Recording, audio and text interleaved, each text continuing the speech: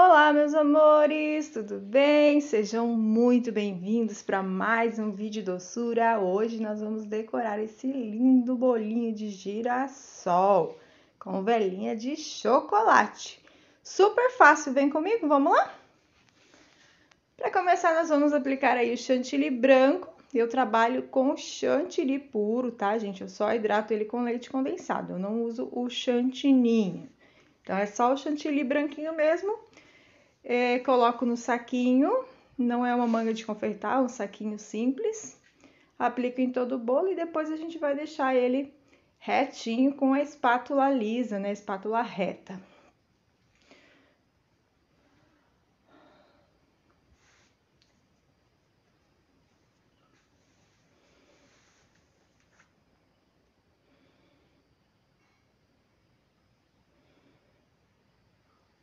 Tiro todo o excesso, deixo aí um mais ou menos retinho. E depois eu vou trabalhar com o pincel. É, não esqueci do meu pincel não, gente. Eu compro um monte de espátula, mas o pincel é o que eu mais uso, né? Pincel de silicone que a gente trabalha na cozinha. É só encostar lá no bolo e girar a bailarina que dá esse efeito que eu acho lindo, gente. Eu amo trabalhar, além de ser super fácil, né? Bem mais fácil do que com as espátulas. É por isso que eu uso muito esse, tá? Para fazer aí o rodapé, bem bonito em amarelo, a gente vai usar aí o amarelo gema, corante soft gel da Fab. Pensa num corante maravilhoso. E pega a cor super facinho, olha só. Coloquei no meu chantilly, então acrescentei um pouco de leite condensado para ficar numa textura bem boa. Olha como fica sedoso.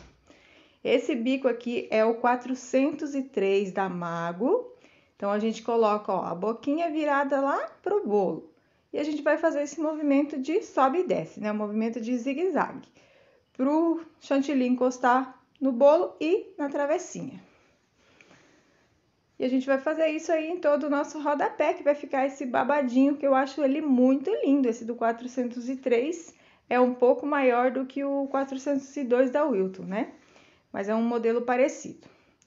E agora a gente vai fazer pequenas rosetas. Esse bico é o 35, também da Mago, um pitanguinha pequeno. Onde terminamos o babadinho com 403, a gente faz aí a rosetinha para dar um acabamento.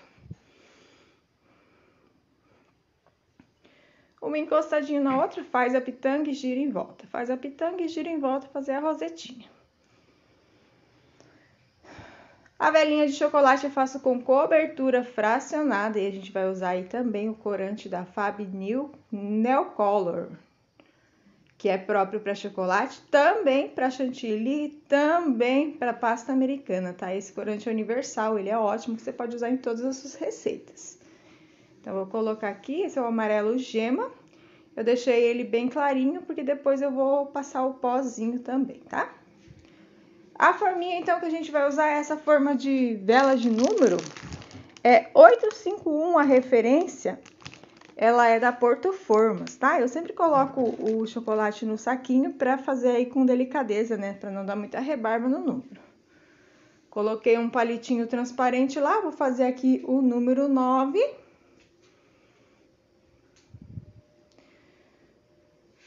Dá aquela batidinha para tirar as bolinhas de ar, coloco aí o palitinho e levo na geladeira de 5 minutinhos mais ou menos aí já tá prontinho.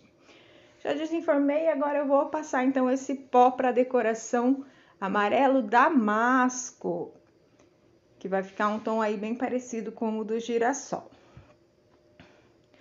E é só com um pincelzinho, tá? Esses pincéis são aqueles de maquiagem, que eu tenho um kit aqui para cozinha só para esse tipo de trabalho.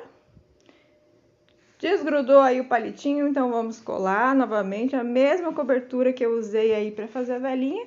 Derreti de novo e vou colar aí o palitinho. Acontece, né, gente? Não quis tirar essa parte para vocês verem que acontece todo tipo de coisa. Aí a gente vai aplicar aqui no bolo. No bolo eu também passei o pó perolado com o brilho da Fab nessa parte branca, tá, gente? Que eu não gravei para vocês, mas eu passei, por isso que tá aí bem peroladinho. Esses girassóis são de papel, né? Topper girassóis. E o nosso bolo já está finalizado. Vou colocar umas pérolas para ficar ainda mais bonito. Eu sempre faço esse mix com as chocoballs maiorzinhas e as menorzinhas, ó. E jogo aqui em cima.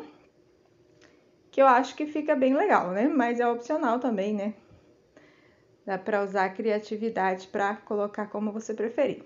E já tá prontinho o nosso bolo. Olha que coisa mais linda, gente. Era isso que eu tinha para hoje. Espero que vocês tenham gostado. Um grande beijo. Fiquem com Deus e até o próximo vídeo. Tchau!